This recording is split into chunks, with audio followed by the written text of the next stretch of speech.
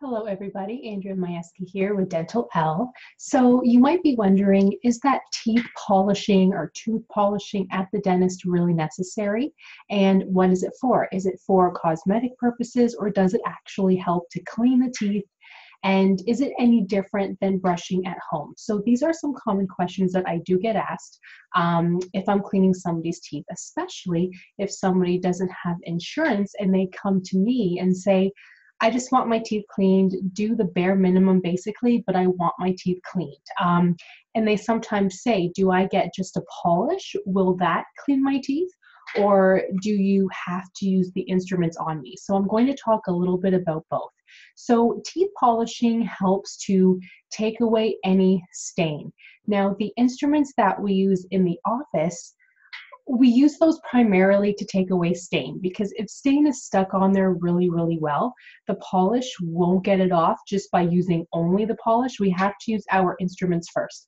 But sometimes, if there's a lot of plaque on the teeth, if you ever have the dental hygienist polish first before she actually cleans the teeth with her instruments, it's because there's so much plaque on there that we need to actually polish the teeth first to be to be able to get the, the tartar off the tartar and the calculus. So plaque is that light white stuff. So that like soft white off yellow um, stuff that pretty much forms on your teeth right away. So polish can take that off.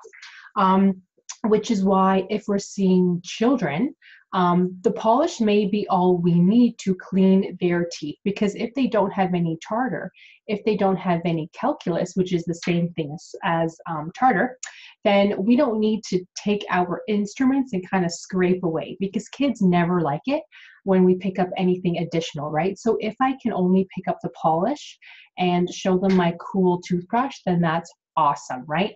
But our instruments for adult patients take away most of the stain. So is polishing necessary? Sometimes I say yes and sometimes I say no. Depends on the patient if you have a lot of stain, polishing is still probably necessary because even with our little instruments, we can't get everything with our instruments, or it is just easier sometimes to take away most of the stain, but then we do still have to polish afterwards.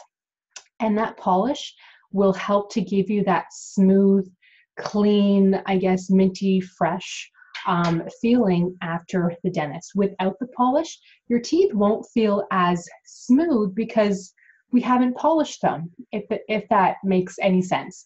So, for those patients who tell me that they want to save money and that they don't want the polish, I tell them, you know what, that's okay. We don't have to do it because it does save about 17 to $26 depending on how much of a polish we have to do and what type of polishing paste we need to use. If it's heavy, heavy stain, then we use a different type, right?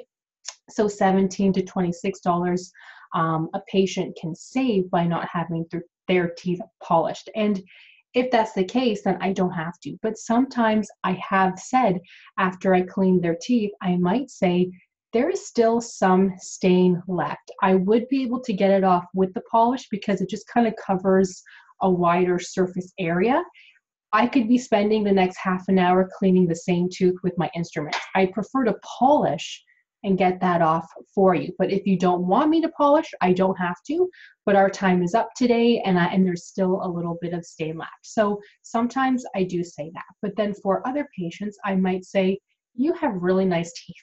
There's no plaque, there's hardly any um, tartar, you don't drink coffee, wine, so there's no stain on there. I actually don't have to polish. So if you want to save 17 to $26, I don't have to. But after I clean the teeth, if you're saying, you know what, my teeth don't feel quite as smooth, can you polish?